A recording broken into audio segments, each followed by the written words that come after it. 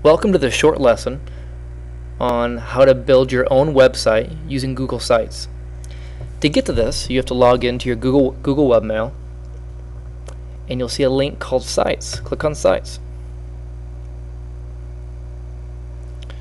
You'll see a few sites I've made below. We're going to make one from scratch. So click Create New Site. You need to think of a name. I'm going to call this one Example when I click over here, it tells me what my URL is going to be. This is what you're going to see uh, in the address bar in whatever browser you're going to use.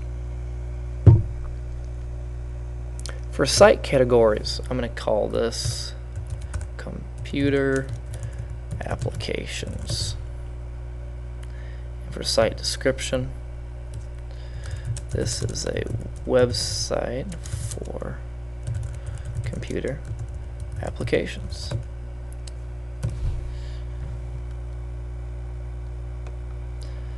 So move down a bit. You can see that you can have your site set up so everyone can see it or you can invite people to see it. You can have it as private as you want. I'm going to choose charcoal for the theme. You can choose whatever theme you want. There's actually more themes. When I click create site, it is going to very quickly show me what I have so far. Now for this lesson, we're just going to make one quick page. And the page we're going to make is an About Me page. About Me. Or you can just click About or type About.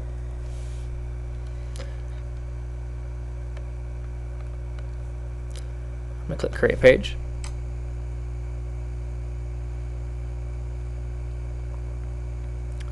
And here's our new page. You're going to want to have some text, something telling people who are going to view the site about you. I've already copied, copied some text, so I'm just going to paste it in. Now we need to find an image. And I have selected an image and put it on the desktop. So I'm going to click Insert, Image. I'm going to browse for that image. I named it Headshot. And this is the wonderful headshot that we got for our school IDs.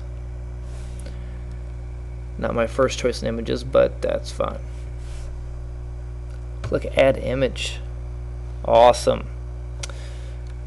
Alright, it's a little large. So I'm going to click on Medium. A little bit better.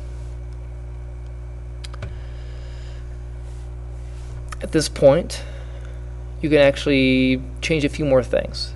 When you click on the image, you can change the location. It can be aligned left, center, right. Change the size of small, medium, large, or original. Text wrap is currently off. You can change it on. This will allow the text to wrap around the image. For right now, I'm going to keep it as is. You can you can change your own settings to where you like them. So I'm done, for right now at least. So I'm going to click Save it is saved. So that's how you create a new page. But if you notice on the left hand side, it does not show up in the normal navigation bar over here. So I'm going to click on Edit Sidebar. I'm going to scroll down a little. Click on Edit. And it doesn't show up here either. So we need to click Add Page to Sidebar. And we're going to click on the About Me page. OK. I also don't like the order. I'd rather have sitemap at the bottom. So I'm going to move About Me up.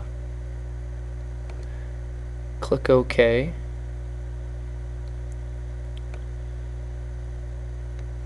Save changes. Preview.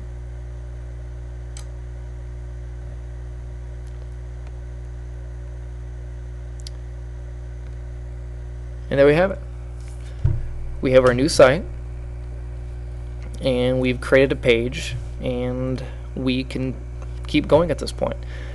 I'm going to have future lessons telling you or showing you how to do different different things with Google Sites. Uh, but for now, uh, that's it. Nice job.